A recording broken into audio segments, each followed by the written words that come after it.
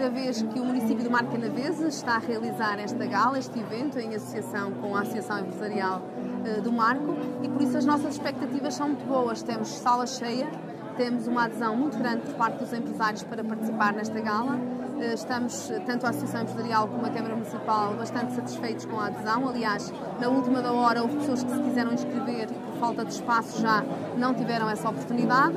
Eh, o objetivo desta gala é, sobretudo, homenagear e transmitir uma mensagem de confiança aos nossos empresários. Acho que é muito importante, tanto a Associação Empresarial como a Câmara Municipal, poderem estar ao lado dos empresários e também demonstrar-lhes esta gratidão por tudo o que têm feito pelo nosso Conselho.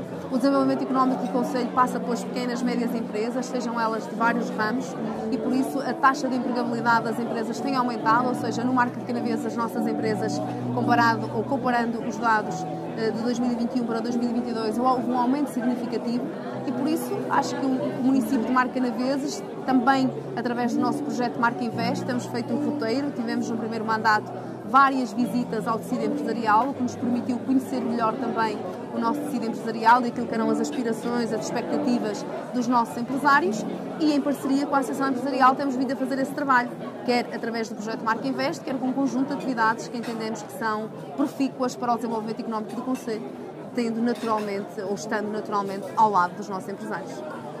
Os empresários vão contar ao longo da? Vamos contar com um conjunto de iniciativas, nomeadamente a apresentação de alguns prémios, eh, que foram prémios que foram também eh, foram prémios foram alvo de um regulamento por parte da Câmara Municipal e vamos ter aqui alguns momentos, sobretudo de confraternização, de conhecimento daquilo que são os empresários do Conselho de Marca Naveses e, e, vamos ter também momentos para poder homenagear e, e, também premiar aqueles que são os nossos empresários. E para, para a Associação Projetos de Aniversário, o que é que significa exatamente esta gala uh, Significa homenagear todos os nossos associados, uh, vamos premiá-los uh, devido à antiguidade. Temos empresas com mais de 75 anos que são associados e outras também com mais de 50 e no fundo é, é demonstrar que estamos com eles uh, e que dá um, um carinho também no fundo pelo trabalho que têm feito e que na nossa região tem sido muito importante para a nossa economia e as nossas empresas têm aumentado. Aliás, os dados de, de 2021 a 2022 houve um aumento, um crescimento da exportação de cerca de 16% uh, na nossa região e também cerca de 13% das empresas uh, começaram a exportar.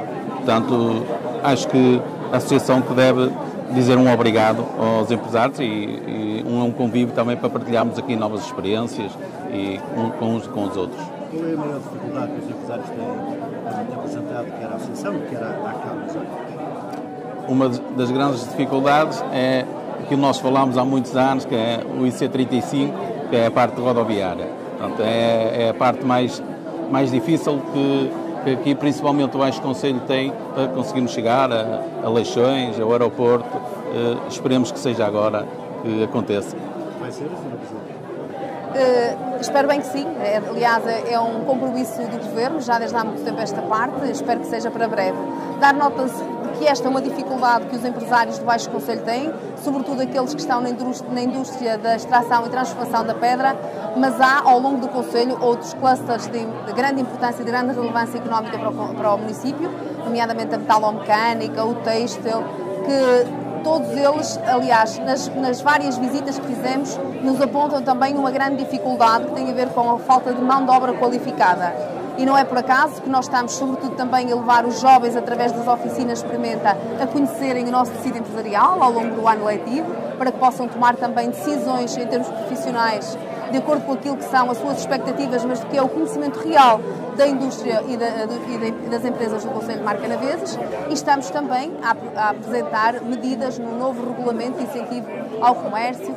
Temos tido o nosso projeto Marca Invest para podermos também consertar algumas medidas e estamos também a apostar na formação. Existem projetos, projetos a médio e longo prazo para o município de Marca Naveses que passam pelo edifício da fábrica, que, como sabem, adquirimos há pouco tempo, e com quem temos parcerias, com o IPP, com o CESAI, com o Sem Fim, com o próprio OTAD, e que, além disso, tem também um espaço de incubador de empresas de maior dimensão. Ou seja, estamos a falar de um conjunto de medidas que todas elas foram concertadas com os empresários, de acordo com as suas expectativas e necessidades, e que nós temos consciência que darão fruto, algumas já estão a dar e outras só a médio e longo prazo. Há um conjunto, de facto, de aquilo que são, hum, diria, expectativas por parte dos empresários, quer em relação ao município, quer em relação à associação empresarial e quer em relação ao governo, naturalmente.